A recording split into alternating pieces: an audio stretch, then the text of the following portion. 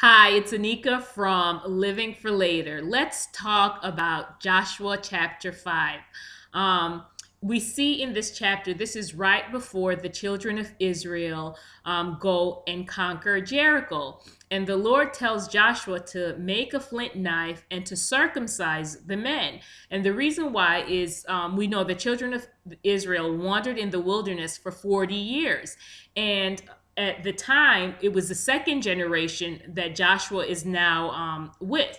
And we know the first generation, they died off because of their disobedience and their murmuring and complaining. So it's now the second generation who is on the verge of possessing Jericho, the entry point to the promised land. So, um, we see that Joshua obeys the Lord and he has the children of Israel circumcised. And, you know, let's fast forward to the New Testament. We know that the Lord is no longer requiring a circumcision of the skin, but more the circumcision of the heart. But the scripture that really um, got me was Joshua 5, verse 9, where it says, Then the Lord said to Joshua, Today I have rolled away the reproach of Egypt from you. So the place has been called Gilgal to this day. And I love the way the New Living Translation gives it. Then the Lord said to Joshua, Today I have rolled away the shame of your slavery in Egypt. So that place has been called Gilgal to this day.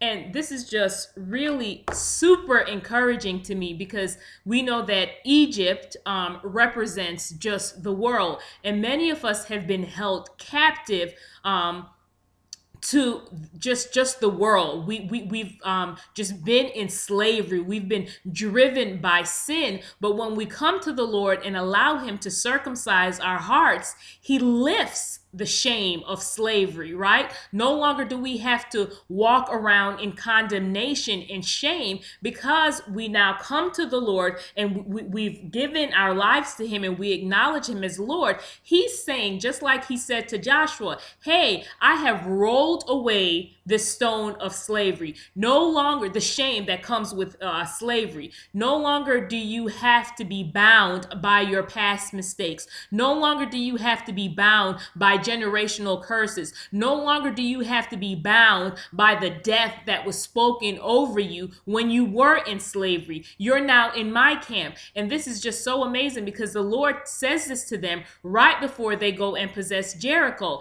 And now all of us, we have, and like I said, Jericho Jericho was um, the entry point, right, to the promised land, to what God had promised. This was the first place that they conquered. And I think about it because God has made all of us some awesome promises, right?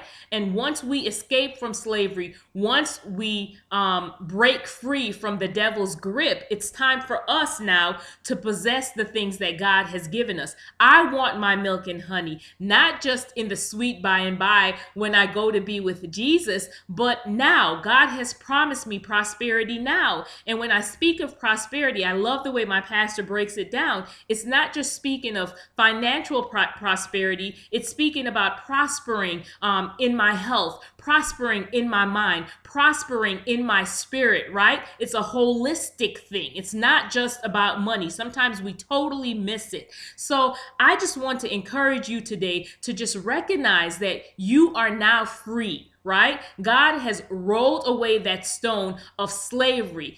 Walk in the liberty that he has given you as you have allowed him to circumcise your heart. You go and get those promises. Be blessed.